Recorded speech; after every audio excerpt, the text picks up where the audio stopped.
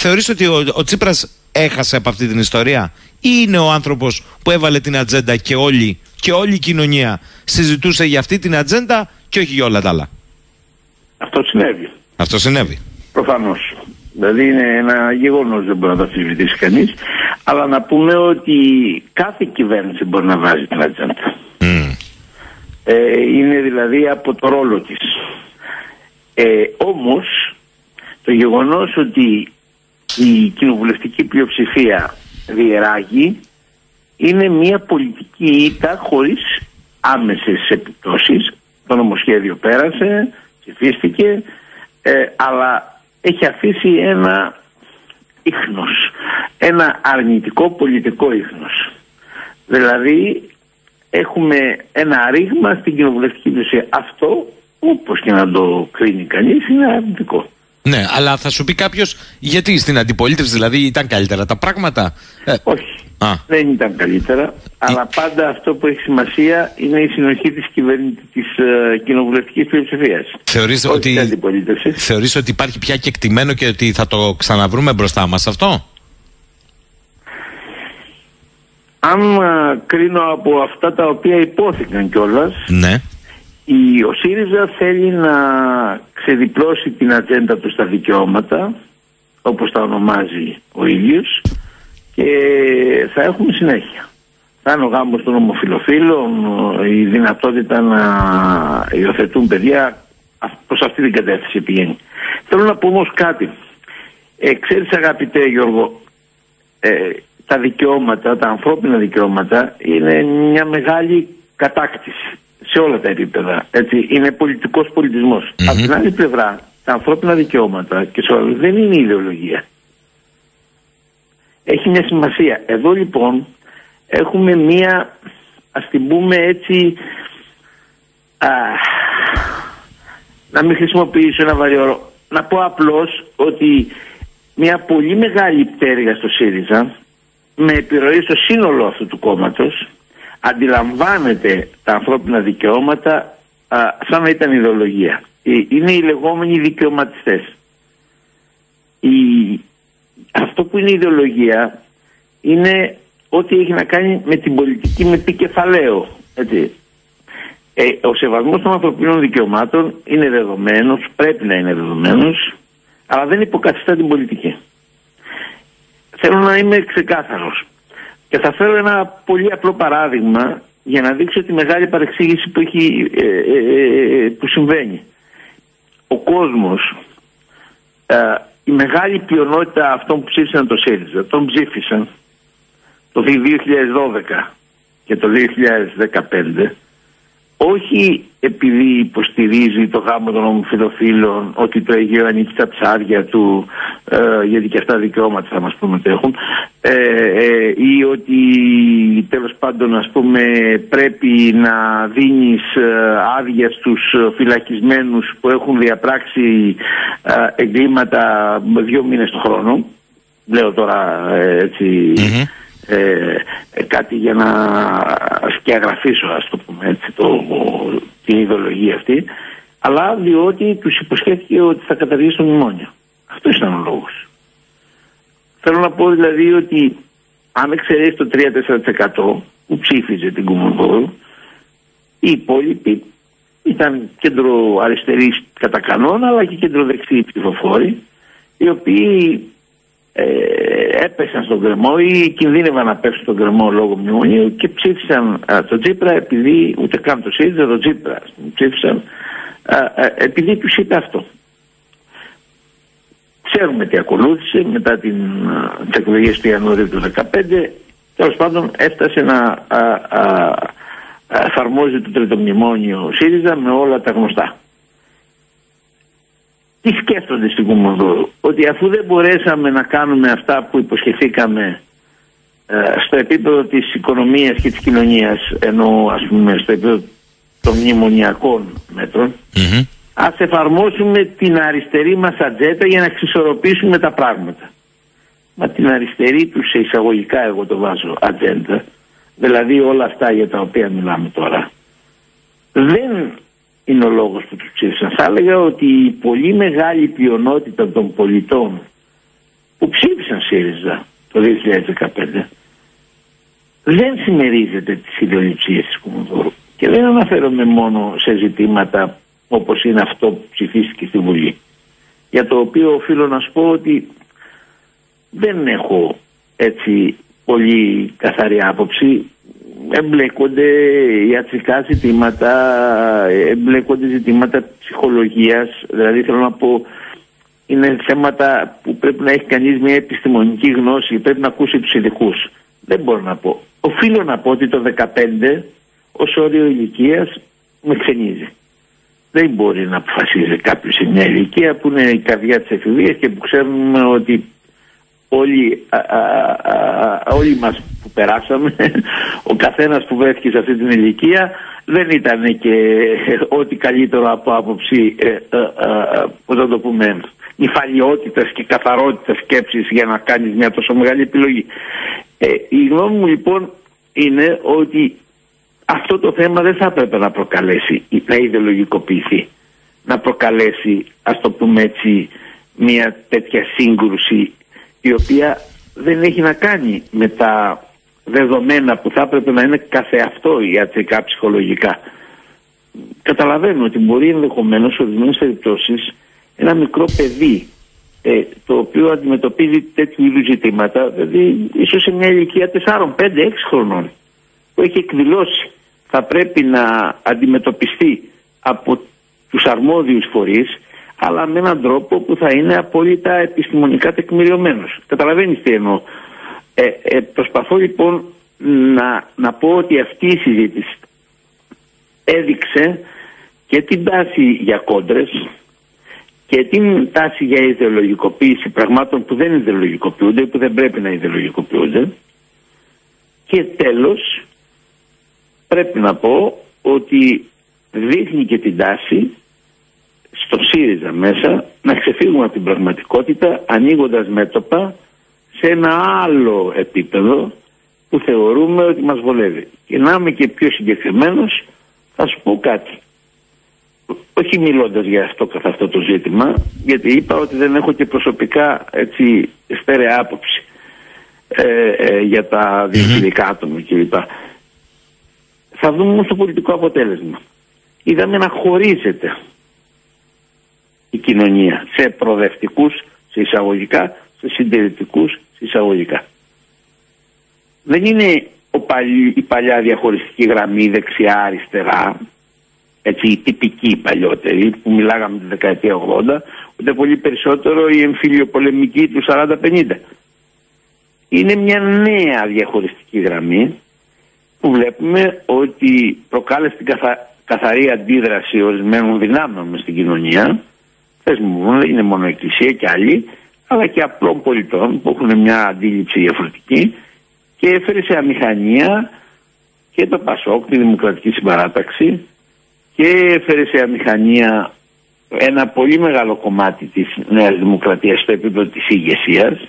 Ναι. Την υποχρέωσε να έρθει με δικό της σχέδιο νόμου.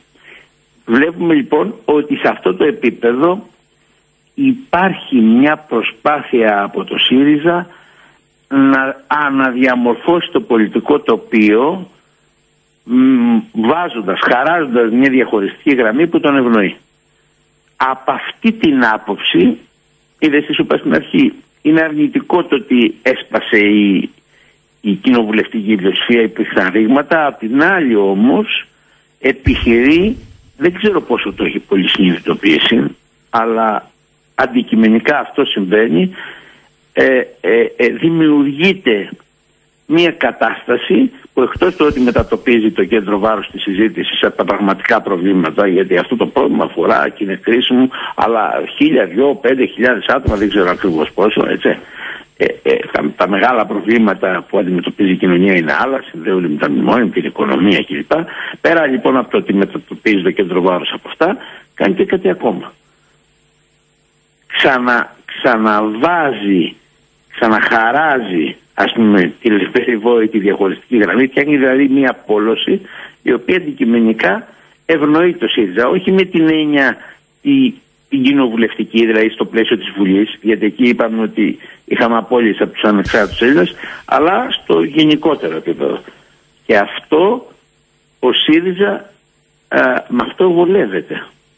Γιατί δημιουργεί τις συνθήκες να εμφανιστεί ως η πολιτική δύναμη που σηκώνει τη σημαία της πρόοδου, αυτά βάλτε σε εισαγωγικά, έτσι, ε, ε, ε, σε, σε, ζητήματα κοινωνικά που δεν έχουν μεγάλη, ας το πούμε, δεν αφορούν πολύ κόσμο, αλλά που έχουν συμβολικό και ιδεολογικοποιημένο χαρακτήρα. Σε πήρα μονότερμα, αλλά Όχι. ήθελα να κάνω αυτές τις, αυτούς τους διαχωρισμούς γιατί πιστεύω ότι το πράγμα έχει ε, αυτές τις αναγνώσεις. Δεν είναι μία η ανάγνωση δηλαδή. Θέλω πριν σε αποχαιρετήσω, γιατί θα τα λέμε πια συχνά πυκνά όπως αντιλαμβάνονται όλοι, να, να φύγω τελείως έξω από όλα αυτά και να σε ρωτήσω, τι σοή Ευρώπη είναι αυτή; Βλέπεις τι γίνεται στην Καταλωνία, όπου και εκεί ο ηγέτης, εντάξει δεν μας προκαλεί έκπληξη, ναι μεν αλλά, παγώνει ξεπαγώνει. Η Κομισιόν αντιδρά διαφορετικά εδώ από ό,τι αντιδρούσε, θυμίζω, επί Brexit στη Σκωτία. Αλλά γενικά πώς το βλέπεις όλο αυτό; Ε, είναι ένα πολύ μεγάλο ζήτημα γιατί ο καταλανικός, ας το πούμε, το αποσχιστικό κίνημα έχει ρίζες. Δεν μιλάμε για μια στρατηγική μειονότητα. Δεν μιλάμε δηλαδή, παράδειγμα, για την αλβανική μειονότητα στην uh, Σερβία, στο Κοσφοπέδι συγκεκριμένα, που αποσχίζεται. Δεν μιλάμε ε, για να πάει, για να φτιάξει δικό της κράτος ή για να πάει μελλοντικά στην μητέρα πατρίδα, στην Αλβανία, έτσι. Ε, ε, η, η πραγματικότητα είναι ότι η Καταλανία είναι ένα συστατικό, μια συστατική εθνική ομάδα στην Ισπανία. Δηλαδή δεν υπάρχει, δεν είναι μια γαλλική μειονότητα στην Ισπανία που θέλει να ενωθεί με τη Γαλλία, έτσι. Ε, αυτό έχει πολύ μεγάλη σημασία. Γιατί, γιατί το ερώτημα που τίθεται είναι εάν μια τέτοια εθνική ομάδα πέρα από πολιτικούς όρους, μιλάω σε επίπεδο αρχών, μπορεί πράγματι να επιχειρήσει αυτό το άλμα. Στην uh, Τσεκοσλοβακία, την uh, πρώτου επίπαρκτου σοσιαλισμού σε εισαγωγικά κι αυτός, ε, η Τσεχοσλοβακία τι ήταν, η Τσεχία και η Σλοβακία. Δύο συστατικά έθνη εθνικές ομάδες είχαν φτιάξει ένα κράτος. Και δεν το φτιάξανε ε, επί ε, κομμουνιστικού καθεστώτος, πριν και πριν. Αποφάσισαν να πάνε διαζύγιο. Έτσι. Λοιπόν, και έγιναν Τσεχία και Σλοβακία. Γιατί όχι η Καταλωνία; Γιατί όχι η Καταλωνία; Υπάρχει ένα ερώτημα εδώ. Έτσι. Γιατί πάρα πολλοί βάζουν Α, και εμείς προσοχή στην Κύπρο, η Τουρκοκύπρη, η Τουρκοκύπρη ήταν μια στρατηγική μειονότητα. Ήταν 18% πληθυσμού και δεν ήταν μια συστατική εθνότητα του, της Κυπριακής Δημοκρατίας, ενός κράτους οποιοδήποτε, άλλωστε η Κυπριακή Δημοκρατία η ίδια δεν ξεκίνησε να υπάρχει. Το έτοιμο ήταν ένωση με την Ελλάδα, όπως ξέρεις, ας πούμε, έτσι διπλωματικές ε, ε, ε, επιλογές οδήγησαν στο να φτιαχτεί αυτό το κράτος. Ε, εγώ γελώ τώρα γιατί ε, μιας και το θέσες, να το πω και κάποια ύποπτα παιχνίδια που γίνονται από κάτι περιοδικά που φημολογείται ότι χρηματοδοτούνται και από το Σόρος η ελληνική έκδοση που μετά την Καταλωνία βρήκε ως φανταστικό παράδειγμα την Κρήτη. Ναι, είναι, είναι, ε, ε, τα παιχνίδια αρχίσαν. Ναι. Εγώ είμαι πάρα πολύ ξεκάθαρος σε αυτά τα πράγματα ε, επειδή ήμουν σίγουρος και δεν, δεν μιλάω τυχαία. Ε, εάν η κριτική ήταν μια ξεχωριστή εθνότητα και ήθελαν, ήθελαν, ιστορικά ήταν μια ξεχωριστή εθνότητα και ήθελαν να έχουν δικό τους κράτος, εγώ θα έλεγα ναι, αφού το θέλω. Και να μεθοδευτεί, να, να ανοιχνευτεί και να καταγραφεί δημοκρατικά και να το κάνουν. Η κριτική όμως είναι Έλληνες από την κοφή μέχρι τα νύχια και οι κριτικοί έπαιξαν καθοριστικό ρόλο στο να διπλασιαστεί η Ελλάδα πριν από 100 χρόνια κιόλας. Αυτή ήταν έτσι θα έλεγα βασικός παίχτης όταν το 12-13 η Ελλάδα διπλασιάστηκε. δεκαετία εκείνη, πριν από 100 χρόνια. Θέλω να πω δηλαδή, πρέπει να μιλάμε τώρα. Το αν θέλει κάποιος να κάνει κάποια παιχνίδια, να χρησιμοποιήσει οικονομιστικά επιχειρήματα κλπ. Εντάξει. Ξέρουμε πως υπήρξαν κάποιοι τέτοιοι κύκλοι. Mm. Προβάλλοντας τι, ότι οι κριτικοί δεν είναι Έλληνες; Όχι, προβάλλοντας ότι η Κρήτη μπορεί να είναι πιο πλούσια από την Ελλάδα. Αλήθεια είναι μπορεί να είναι πιο πλούσια την Ελλάδα. Δεν είναι αυτός ο λόγος που. Αχ, Φρεσταύρο, εσύ τα λες. Ελπίζω να τα ακούνε και κάποιοι που έτσι στο χαβαλέ καμιά φορά νομίζουν. Ναι, ναι, να σου πω κάτι. οι Καταλανοί δεν λένε, Α, ξέρεις, μπορεί να πέφτει στη συζήτηση και αυτό το επιχείρημα. Είναι αυτό το επιχείρημα. Εμείς είμαστε, ας το πούμε έτσι, ε, ε, πιο πλούσιοι από τους υπόλοιπους Ισπανούς και γιατί να τους πληρώνουμε κλπ. Οι Καταλανοί είναι ανε, είναι εθνότητα από αιώνες. Στο 16ο αιώνα, όταν ο Ισαβέλα και ο Φερδινάρδο ένωσαν τα βασίλειά τους mm. και την Ισπανία, όλοι, όλα αυτά, τα, ας πούμε όλες αυτές οι εθνότητες μπήκαν κάτω από αυτήν την πράξη. Γιατί, γιατί πολέμησαν τους μουσουλμάνους. Αυτή ήταν η σύγκρουση. Εκδιώθηκαν, εκδιώχθηκαν οι μουσουλμάνοι από την Ισπανία κυρίως στην Νότια Ισπανία, που είχαν εγκατασταθεί από τον 8ο αιώνα. Λοιπόν, και αυτό ένωσε όλες τις εθνότητες. Οι δύο βασιλικοί οίκοι έφτιαξαν τον έναν και όλες οι, οι, οι εθνότητες και οι Βάσκοι και όλοι μπήκαν για να μπορέσουν να διώξουν τους μουσουλμάνους. Σύμφωνα, αλλά οι Καταλάνοι δεν ξεχνούν ότι οι Μαδριλένοι, οι Καστιγιάννοι δηλαδή, τους κατέσφαξαν έτσι, στις συγκρούσεις που είχαν. Δεν τα ξεχνούν ούτε αυτά. αυτό είναι στον εμφύλιο πόλεμο. Αλλά εγώ πέρα από αυτό, πριν από τον εμφύλιο, δεν είναι καν αυτός ο λόγος. Αυτό ήταν μια περαιτέρω όθηση. Οι, οι, οι Καταλανοί ήταν Καταλανοί. Αν ψάξεις πίσω, δεν ήταν Ισπανοί. Mm. Γι' αυτό λέω ότι πέρα και έξω από τους πολιτικούς όρους, δηλαδή το να δεις πως πρέπει να αντιμετωπιστεί ένα ζήτημα που έχει να κάνει με την δημιουργία κράτους από μια εθνότητα κλπ. κλπ. Πρέπει να αναγνωρίσουμε την ιδιαιτερότητα, δηλαδή να δούμε συγκεκριμένα. Δεν είναι το ίδιο να πεις μία μειονότητα πρέπει να κάνει κράτος, να αποσχιστεί εύκολα. Αυτό μπορεί να έχει να κάνει με την ελληνική μειονότητα στην Αλβανία ας πούμε η οποία τώρα πια έχει φιλορροήσει κιόλας ή με τη μουσουλμανική μειονότητα που δεν είναι και εθνική ας πούμε στη Θράκη ή για να πάμε σε πολύ μεγαλύτερες μειονότητες να πάμε στην, την, την ουγγρική μειονότητα στη Ρουμανία και πάει λέγοντας. Αυτές είναι στρατηγικού χαρακτήρα μειονότητες δεν μπορεί κάθε μειονότητα να αποσχίσετε. Όμως, μια εθνότητα πρέπει να, πρέπει να έχει το δικαίωμα να αποκτήσει κράτος. Οι Κούρδοι παράδειγμα, οι οποίοι είναι ένα έθνος. Και μάλιστα είναι ένα έθνος 40, 30 τόσο εκατομμυρίων, 35. Οι οποίοι είναι χωρισμένοι σε τέσσερα κράτη. Στην Τουρκία, οι περισσότεροι, Συρία, Ιράκ και Ιράν. Δεν μπορούν να αποκτήσουν κράτος. Γι' αυτό λέω ότι πρέπει κανείς να είναι προσεκτικός σε αυτά και να βλέπει την κάθε περίπτωση ξεχωριστά με κριτήρια σε επίπεδο αρχών. Λοιπόν, αυτή είναι η απάντησή μου.